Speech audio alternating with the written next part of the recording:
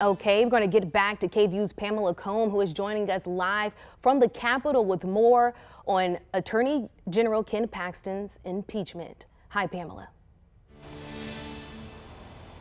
Daranesha, good evening. Well, after hours of debate, an overwhelming majority of the Texas House voted to impeach Attorney General Ken Paxton, as you said earlier, and the vote was 121 to 23. And this came just two days after the investigative committee issued the 20 articles of impeachment.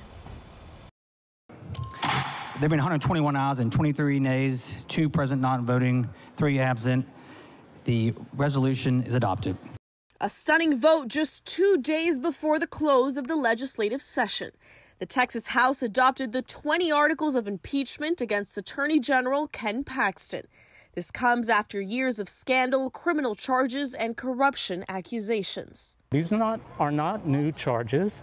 Uh, again, they uh, originated in 2015. During debate, Austinite Robert went to the Capitol in support of Ken Paxton. This comes after the Attorney General asked supporters to go out and protest. Peacefully come let their voices be heard. But others also went in opposition.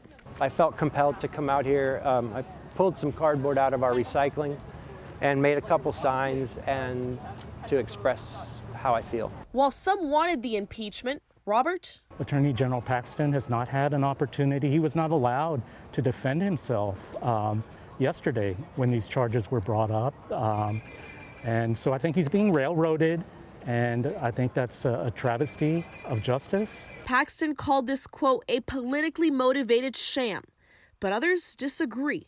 Ken Paxton was impeached by fellow Republicans. But it's a crack in, in the legislature here that the Republican led committee actually pushed this forward for a vote for impeachment. Those in support feel justice was done. I enjoyed seeing the bipartisan process of this and that we actually worked together to accomplish something. Now, the next step is a trial in the Senate.